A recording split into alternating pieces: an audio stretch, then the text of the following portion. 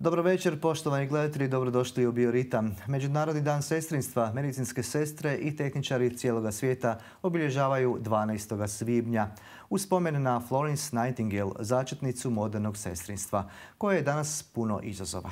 I dalje otvoreno za sve koje žele sudjelovati u izgradnji spoznaja o najplemenitije profesiji na svijetu. Uloga medicinskih sestara i tehničara posebno se očitovala u pandemiji koronavirusa. Više o svemu u večerašnjoj emisiji razgovaramo s našim gošćama. S nama su medicinske sestre i pomoćnica ravnateljice Doma zdravlja Slavonski Brod, e, Marija Damjanović-Križanović. Dobro večer, dobro nam došli. Dobro večer, hvala na pozivu. Inače i voditeljica patronažne službe, te gospođa Anka Mihelić, pomoćnica ravnateljice za sestrinstvo Doma zdravlja Slavonski Brod i koordinatorica palijativne skrbi. Dobro večer vama, dobro, dobro večer, hvala na pozivu. Za početak, e, gđo. Damjanović Križanović, evo, koji je cilj e, međunarodnog sestrinstva i na koji se način obilježava ove godine e, u smislu ove glavnih poruka o važnosti i ulozi sestrinstva u svijetu? Pa, cilj Međunarodnog dana sestrinstva je podizanje svijesti naše našega građanstva o važnosti i ulozi sestrinstva kao osnove zdravstvenog stupa obzirom na najveći udio djelatnika medicinskih sestara i tehničara, to je 35 tisuća nas zajedno. Samo sestrinstvo nikada nije bilo samo zanimanje. To je cijeloživotni poziv. E, sestrinstvo je, je poziv u kojem treba uvažavati i znanost koja nam je omogućila cijeloživotno obrazovanje temeljeno na istraživanjima i na taj način nam je omogućila veliki broj danas visoko obrazovanih sestara koje unapređuju i mogu dodatno unaprijediti naše sestrinstvo, ali isto tako zdravstveni cjelokupni sustav i u konačnici nam donijeti najbolju moguću kvalitetnu skrb bolesniku. Mhm. vjerujem da je velika uloga medicinskih sestara i tehničara bila još uvijek je u aktualnoj pandemiji koronavirusa, ali općenito i u kriznim situacijama globalnih razmjera, pogotovo ako znamo da je zdravlje pacijenata primarni imperativ i vas i liječnika. E, tako je, ja bih rekla što se tiče pandemije, naravno svako radilište u zdravstvenom mhm. sustavu je dalo svoj obol ovoj pandemiji. E, ne samo zdravstveni sustav, nego općenito ja mislim svi mi e, na svojim poslovima.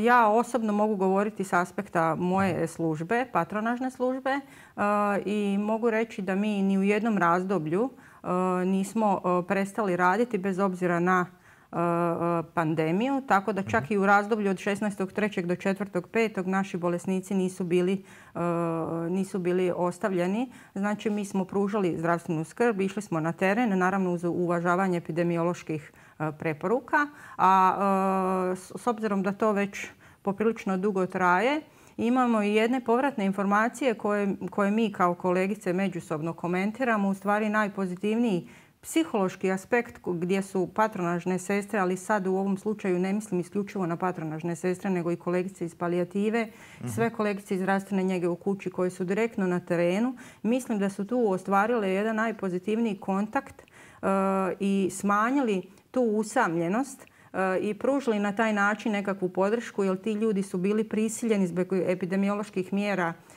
bili su prisiljeni da budu otučeni, isključeni i na mhm. kraju krajeva nekako ograničeni u kontaktima, a pogotovo u situacijama gdje im je obitelj bila daleko. Tako da su se povremeno dešavale situacije e, gdje vam je jedini ljudski kontakt upravo bila osoba koja je dolazila u kuću. Mhm. E, tu su i timovi palijativne skrbe odigrali veliku ulogu, vjerujem, pogotovo prema onima koji su u nekako najtežem obliku i bolesti. Čega ste se svega nagledali, vjerujem da je bilo? pandemija koronavirusa i za palijativni mobilni tim donijela je jedan veliki izazov, isto kao što su mhm. kolegice iz patronažne službe kontinuirano obavljali djelatnost pružanja zdravstvene skrbi svojim korisnicima i mi smo isto tako e, s tim da još otežavajuća okolnost je bila što smo se mi kompletno oblačili u zaštitnu opremu, pred kućom bolesnika, u dvorištu bolesnika da bi ih zaštitili jer e, radimo sa posebno osjetljivim skupinama i poduzeli smo sve mjere da mi sami ne donesemo koronavirus bolesniku, a to je mhm. nama dodatno otežavalo posao jer kroz vizir u toj zaštitnoj opremi u toploj kući otežavam i već i onako težak rad i mhm. poprilično nam je to bila otežavajuća okolnost, ali uspjeli smo i sve bolesnike smo obskrbili i nitko nije ostao bez pružene zdravstvene skrbi. I sami smo bili među prvima u izolaciji jer smo bili u kontaktu sa bolesnicom koja je bila pozitivna na koronavirus i poslije toga nitko niti je jedan dan išao u izolaciju. Uspjeli smo se izboriti za zdravlje nas i naših pacijenata. Da, borba je to u kojoj ste vi zaista e, dali puno i maksimum zapravo koji svi drugi zdravstveni djelatnici. Na, to vam je svakako začestitati, ali vas i potaknuti da ustrajete jer izazova je jako puno pred nama. Upravo mhm. je to i na tragu tom e, e, i moje sljedeće pitanje. Kakav je zapravo trenutačni položaj sestrinstva u Hrvatskoj? Ima li vas dovoljno u zdravstvenom sustavu? Jesu li sva prava ostvarene? Evo, znamo da ste nedavno uspjeli ispregovarati povećanje osnovice plaće sa sindikatima. u kojoj mjeri, koliko, koliko je to zadovoljavajuće, koliko nije, jeste li zadovoljni? Pa, pa ovako, nažalost, ja bih prvo napomenula da ovaj, ono što smo mi uočili e, da e, je prošao dugi niz godina od naše promjene u obrazovanju i jednostavno naš zdravstveni sustav ne prati taj obrazovni sustav. To je u principu najveći po meni nekakav nedostatak gdje žene koje ulažu jako puno u vlastito školovanje, to im nije dovoljno vrednovano. Naravno da nas nema dovoljno. Treba reći u principu da mi još uvijek nekako kaskamo za onim radom i pružanjem sestrinske skrbi koja se radila prije 20-30 godina. Danas su izazovi sestrinstva daleko veći. Znači nije više posao medicinske sestre ono što je nekada bilo. To je puno kompleksnije, puno izazovnije. Svakako zahtijeva osim pružanja sestrinske skrbi jako puno dokumentacije, jako puno administracije, mhm. Puno komunikacije sa ostalim službama i sve to kada vi zajednički spojite vidite da u cijeloj toj priči je nedostatak radnika prisutan i svakako je jedino rješenje povećanja broja djelatnika koji bi podijelili i odnosno smanjili taj pritisak na sestrinstvo trenutno i mhm. na današnji rad i izazov u sestrinstvu. Puno vas je otišlo van, upravo u potragu za nekakvim boljim uvjetima rada. Da. Pa čujte, je, otišlo je i ja mislim da nekako ipak, e, e, nažalost, to su većinom e, čak i nekih kolegica, recimo evo iz moje službe patronaže, to su kolegice koje su radile i 15-20 godina ljudi idu, traže nešto bolje za sebe, vjerovatno i nađu čim se, čim se ne vraćaju, ali evo, žalosno je da naša država školuje jako velik broj i na kraju cijele priče ispada ih da ih školujemo za druge države. Jel? Mhm. Tako da, evo, to je žalosno. Trebalo bi u principu nekako omogućiti mladim ljudima da rade kod nas, mhm. a to je jedan od nekih mogućnosti da povećamo broj, da, se, da, da omogućimo, a stvarno smo u potrebi. Ja mislim da ne postoji radilište u zdravstvenom sustavu uh, uh, po pitanju sestrinstva koji ima dovoljan broj sestara. Da. Često puta govore kako ako iko zaslužuje veće plaće, to su upravo i liječnici i medicinske sestre i tehničari. Jeste li uspjeli doći do nekakav uh, zadovoljavajući, zadovoljavajuću razinu tih tih ovaj, vrijednosti koje zaslužujete? Pa vidite, mhm. moje mišljenje u cijeloj priči da uh, sestrinstvo, obzirom da nije nikad bilo zanimanje, mhm. to je cjeloživotni poziv, čak i kolegice koje odu u mirovinu nikad ne prestaju raditi. Mhm. novaca nikad dosta. Naravno da je to jedan od motivacije gdje vi kad uložite jedan određeni trud, pogotovo evo, gledajući ove dvije godine ove pandemije, bez obzira svakako je bilo i drugih zanimanja, ali je i 20 24 sata ipak je ta skrb mhm. na sestri. Tako mhm. da mislim da se tu trebalo bi biti volje i želje da se pronađu određena sredstva i da se potaknu ti ljudi jer jednostavno su potrošeni. Mhm. Mislim da je jako velik broj kolegica Mhm. potrošene. Mhm. Ja bi se na to nadovezala. Prvi studij e, za visokog obrazovanja za sestre je započeo 2006. godine na zdravstvenom veleučilištu u Zagrebu. Otvoreni su specijalistički diplomski stručni studiji I žalosno je da do, do dana današnjega u sistematizaciji nema radnih mjesta za te visoko obrazovane sestre, a prošlo je niz godina i niz obećanja. Biti će, biti će, biti mhm. će. Do dana današnjeg još nismo postigli taj cilj. I moramo biti ustrajne i boriti se preko svih svojih organizacija da to postignemo i da se prizna i prvostupništvo kolegicama mhm. koje su završile uz velika odricanja obitelj, školovali se od svome trošku, koristile godišnji odmor za školovanje jer su željele unaprijediti svoje znanje i pomoći pacijentu, ali onda kad imate jednu blokadu, kad imate zid, budete razočarani. I u mhm. razgovoru sa kolegicama koje dolaze na naša radilišta sa srednjom spremom, a imaju višu spremu, kažu jednostavno nisam imala izbora, moram prihvatiti ono što mogu. Mhm. Budem žalosna nakon toga svega jer znam koliko je trebalo vremena i truda da ona to završi i mhm. e, trajna odricanja jer je odrekla se svog slobodnog vremena i e, sve je platila svojim novcem. I to me dodatno frustrira jer je dugi vremenski niz godina prošao, a da se nismo makli sa početne mhm. točke. Istovremeno, prilika za edukaciju imate, ali nisu dovoljno e, vrednovane. Ali nismo mhm. sistematizirani. Nema mhm. nas uredbi vlade Republike Hrvatske. Znači politička volja. E, upravo tako. Jednostavno moramo se boriti. To traje dugi niz godina. Neka radna mjesta jesu priznata, ali to je jako mali broj radnih mjesta. A veliki broj školovanih sestara. I e, bilo bi onda dobro da se e, fakulteti i Ministarstvo zdravstva dogovore koji je potreban broj određenih sestara visoko obrazovanih i da se odredi koje mogu se školovati, koje ne mogu, jer jednostavno na taj način neće biti frustrirane i neće nam tek svježe diplomirane e, magistre, diplomirane sestre, prvostupnice odlaziti van, jer to je veliki gubitak za našu zemlju. A školovale su se u Hrvatskoj.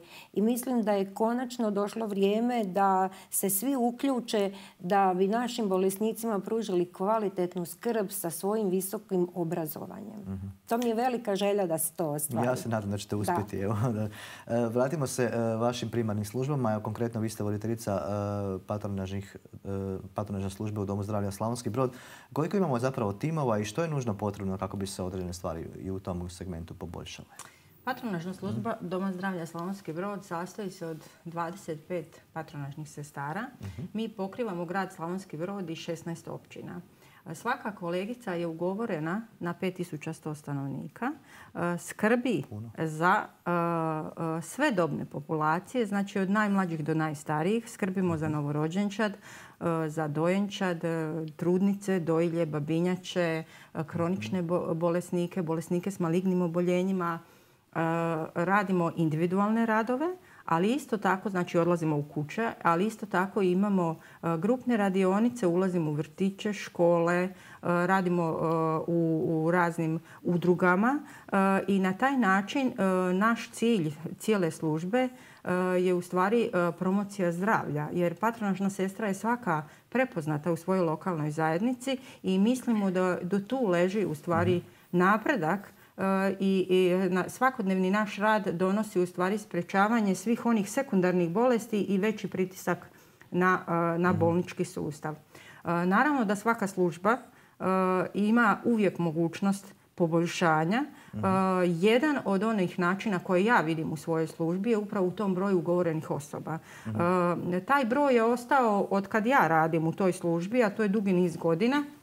I sad E, e, treba e, samo ono što sam vam navela, znači za koje sve dobne skupine, šta se sve radi, morate vidjeti da nije isto raditi na 5100 stanovnika i sve ovo što se radi danas, a šta se radilo prije 25 ili 30 godina. Mhm.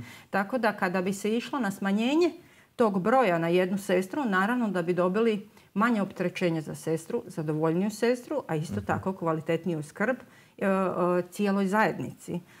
Druga opcija koja apsolutno se veže upravo uz ovo sestrinstvo, uz edukaciju, je da isto dugi niz godina nama je najniži stupanj obrazovanja, znači uvjet da bi se radilo u patronažnoj službi je prvostupnik sestrinstva. Obzirom da je to specifičnost službe i da je to jedino radno mjesto u sestrinstvu u kojem kolegica koja ide na teren radi potpuno samostalno. Znači mhm. nema tima, nema liječnika, nema kolegice koja je starija tu pri ruci pa će evo na nekakav način ipak ćete vi nekoga pitati. U današnje vrijeme ipak moram reći da mi od Doma zdravlja imamo tu mogućnost znači službenih mobitela pa nam je to evo olakšanu nekakvu komunikaciju omogućilo u smislu uh, nekakvih fotografija, vibera, ovam onamo gdje na taj način uh, imamo povratne informacije s našim liječnicima i međusobno, no ipak to nije to. Vi morate za tako radno mjesto biti stručno osposobljeni, imati određeno iskustvo i bilo bi dobro da se u nekoj budućnosti uh, razmišlja o tome da se tim kolegicama koje rade kod nas u službi omogući obrazovanje uh, koje već rade, iako mi već imamo kolegice u našoj službi koje imaju stupanj obrazovanja, dakle magistre su sestrinstva, ali naravno to je sve išlo samostalno školovanje, samo inicijativno i naravno vlastitom trošku, a i u budućnosti bi bilo dobro upravo da sve kolegice koje rade u patronaži bi imale, trebale imati visoko obrazovanje koje bi u konačnici donijelo kvalitetniju, bolju skrb našem bolesniku. Mhm. S obzirom da ste vi zapravo na terenskom radu, vjerujem da trebate taj nekakav terenski dodatak.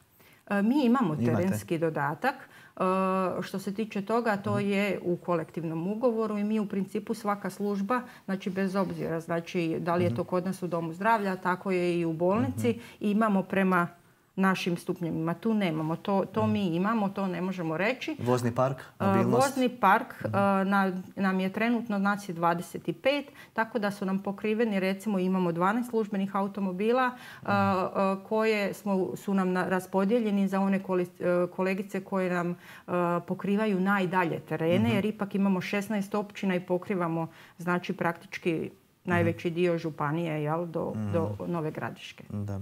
To je puno sela koje su u Jako puno, sve je e, pokriveno. Kažem tako da na taj način je naš zajednički mhm. dogovor naše službe da ti auti mhm. pokrivaju, znači e, dobiju kolegice one koji najveći dio kilometraže prave. Mi ostali vozimo svoje osobne automobile uz nadoknadu. Da, jasno, da. E, palijativna skrb danas nije samo ono na što prvo pomislimo za stare osobe, nego i za mlađe, ali teško oboljele i nemoćne. Koliko imamo takvih osoba u našoj sredini i kako je organizirana palijativna skrb za njih? Najprije ću reći koliko trenutno imamo u registru obiđenih bolesnika i koje trenutno obilazimo. Sa današnjim danom to je 740 bolesnika od kako smo osnovani, a osnovani smo drugog petog E, nedavno smo imali četvrtu godišnjicu od snutka službe. Čestitke. E, hvala lijepa i jako sam sretna što smo uopće uspjeli uz pomoć naše ravnateljice koja nas je mhm. podržala u toj službi i koja je angažirala se da dobijemo i službeno vozilo i ugovoreni smo i za palijativu je posebna karakteristika da ne može raditi e, zdravstveni djelatnik koji nema postdiplomski tečaj iz osnove palijative. Mhm. Znači, nakon sve ukupnog obrazovanja moramo ići na postdiplomski tečaj koji je sada upravo završio u tijeku je bio u Zagrebu i onda se dobije mhm. certifikat i na osnovu toga se ugovara sa HZZO-om. To nam je jedan e, kamen spoticanja jer e, ne možete ugovoriti osobu ako nema certifikat, mhm. a Izbor medicinskim sestrama je danas dosta veliki u traženju posla i nemamo baš kandidata koji bi htio raditi u palijativi. Zašto? E, zato što je to izuzetno težak, stresan posao mhm. i e, dosta kolegica se ne vidi u tome. Mhm. A da bi radili u palijativi morate raditi srcem i morate to htjeti. A nekoga prisiliti sa odlukom da se premjesti u palijativu e, nije dobro jer e, ne možete natjerati čovjeka da radi nešto što ne voli, a pogotovo kada ste svaki dan u tuzi, bolu, jadu. E, mi pokrivamo dobne skupine od dojenčadi, najmlađe dijete nam je bilo četiri mjeseca do stogodišnjaka, tako rekući. Imate široki spektar bolesnika i u posljednje vrijeme nam se dešava dešava da imamo sve e, veći broj mlađih ljudi. Mhm. A jako vam je teško ulaziti u obitelj, upoznati njihovu obitelj, pratiti tijek bolesti i biti svjestan da će ta djeca, supruga, roditelji ostati bez svoga najmilijega. Mhm. I onda e, nekad jednostavno dođemo do sagorijevanja svi koji radimo u timu, a to su dva liječnika, sestra iz tima i ja kao koordinator. Mi smo mhm. svaki dan u kontaktu i e, sve više dolazimo do zaključka da bi u neko dogledno vrijeme trebala neka relaksacija za nas jer smo mi svaki dan u grču i u stresu. Mhm. Neki dan smo bili u jednoj kućnoj posjeti, e, sjeli smo u auto i nitko dobro da nije progovorio. Mhm. A kada šutite, šutnja nadilazi svaku riječ, znači da je svako u svojim mislima i svakome je teško i onda se pitate koliko ćete uopće moći dugo to izdržati. A kad dođete u sljedeću kućnu posjetu i vidite da je bolesniku bolje, onda uh si sami kažemo, ma možemo to, idemo dalje. Mhm. E, to su nam problemi e, zapošljavanja mladih ljudi e, koji baš nemaju motivaciju da rade u palijativi. Mhm. I druga opcija je te nezaposlenosti u palijativi plaća.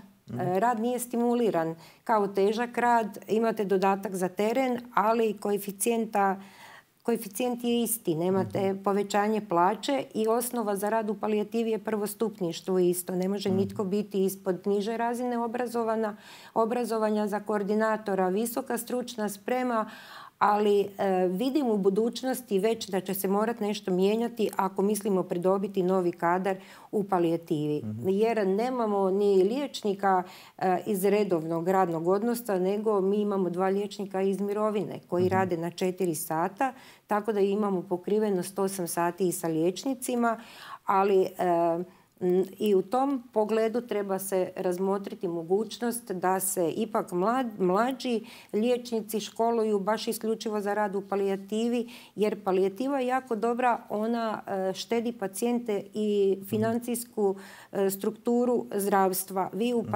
e, pacijentu pružite sve u kući za malo novaca. Dođete mu, nemate transporta, nemate ništa, nemate prehrane bolesnika u bolnicama, u stacionarima i to je dosta e, povoljnije za zdravstveni sustav, ali još puno, puno se kod nas mora poraditi na tome da bi se to mhm. prihvatilo kao jedna djelatnost, kao na primjer patronažna služba koja radi godinama i to se podrazumijeva. Mhm.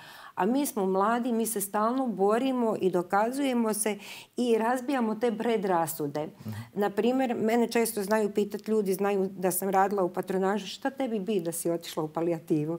Evo, to je onako usput. Jednostavno, to je bio moj put.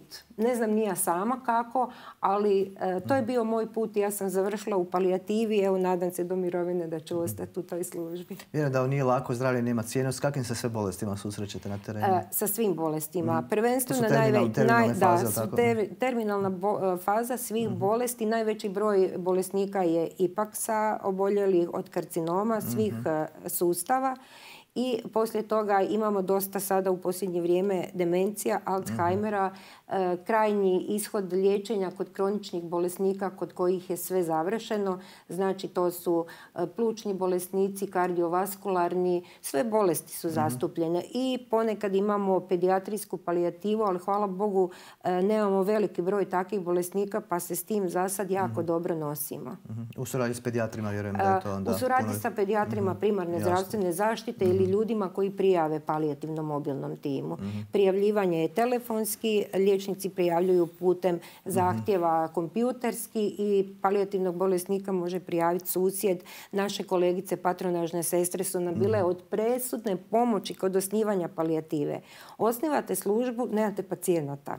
E, imate dokumentaciju, imate papirologiju. I ja sam beskrajno zahvalna patronažnim sestrama jer one su nam sve pacijente svoje teške napisale adresu, imene, prezimena i mi smo tud krenule i dokazivali se kao služba koja je voljna raditi. Mhm.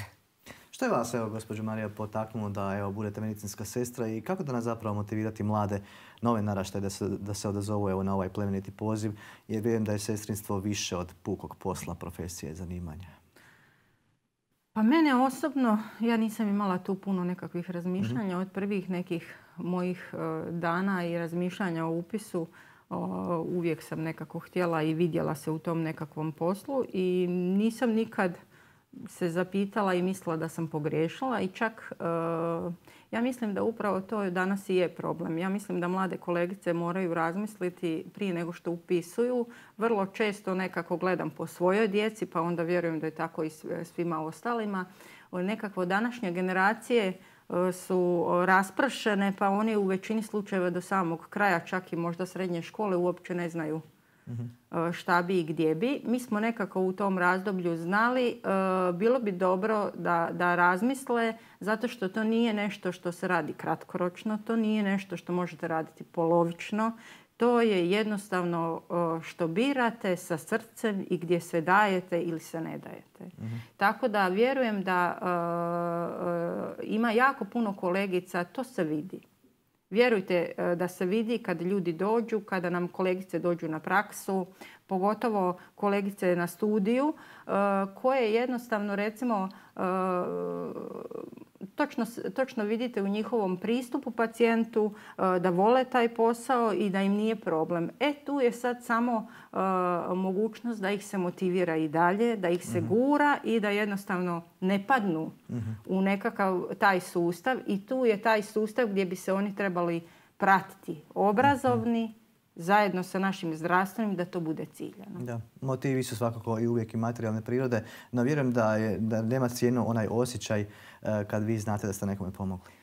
E, to apsolutno se o tome ne može pričati. Mhm. Znači, to je ono što je Janka sad malo prije rekla. Znači, vi kad dođete, zapitate se, svi mi, nitko mhm. od nas nije savršen. Dođete u nekakve e, dane loše i dobre, ali e, puno puta uvijek nadvalda onaj najbolji i dobri dio koji vas gura dalje. Mhm. Znači, vi ne radite ovaj posao 8 sati.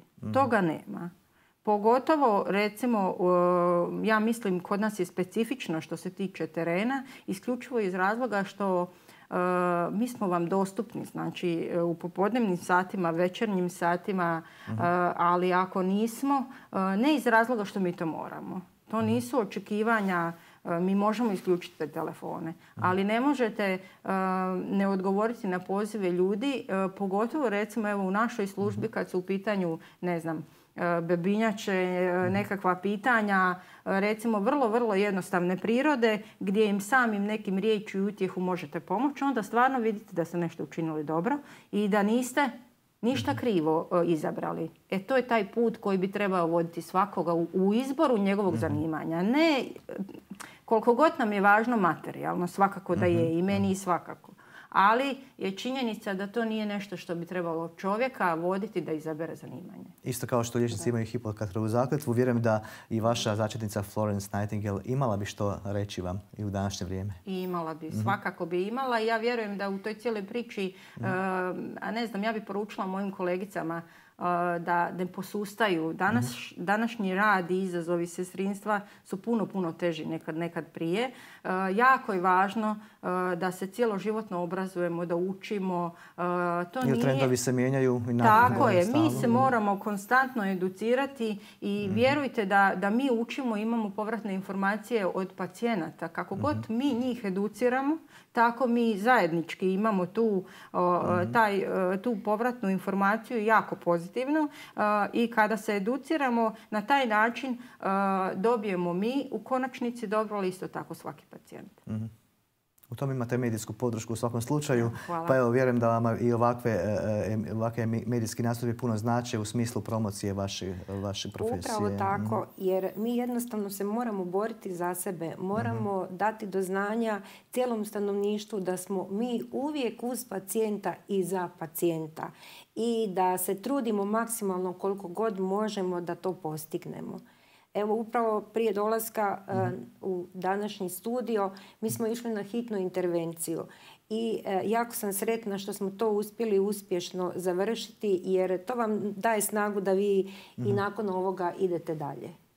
E, kad vidite da ste postigli nešto za pacijenta, vas to gura, da vi mhm. idete naprijed i trenutno zaboravite sve ono loše što je bilo, nego idemo se sad boriti za novi dan e, i to bi poručila svim kolegicama što je rekla kolegica Marija. Mi točno vidimo kad nam mhm. dođe u ustanovu ko će biti sestra super, kog treba malo pogurati i jako je bitna ta komunikacija sa mladim ljudima. Ja se sjećam svog prvog dana, ja sam počela raditi u jedinici intenzivnog liječenja, kako su oni mene prihvatili, koliko su me ohrabrili kad sam došla prvi dan i onda sam si rekla, ako ikad budem u mogućnosti da ja ohrabrujem mlade mhm. Kolegice, sjetit ću se svoga prvoga dana.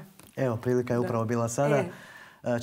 Čestitke za vaš dan, dan sestrinstva svim medicinskim sestrama, ali ne smijemo zaboraviti vaše kolege medicinske tehničare Upravo koji su tako veliku ulogu imaju. stavljamo na prvo mjesto budući da su oni manjina. Da, još uvijek, još uvijek da.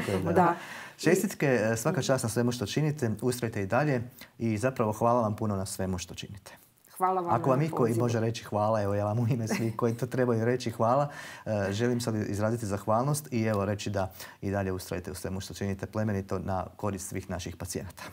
Hvala, hvala što ste došli u naš studij Hvala. Poštovani gledatelji, evo u povodu Dana sestrinstva 12. svibnja u večerašnjoj emisiji gostovale su nam dvije medicinske sestre iz Doma zdravlja Slavonski Brod, voditeljica palijative i patronažne službe e, Marija Damjanović-Križanović i gospođa Anka Mihelić, koordinatorica koordinatorica palijativne zdravstvene skrbi Doma zdravlja u Slavonskom brodu. Hvala vam što ste nas gledali. Budite s nama i sljedeće srijede u istom terminu u programu Slavonsko-brodske televizije. Do tada, doviđenja.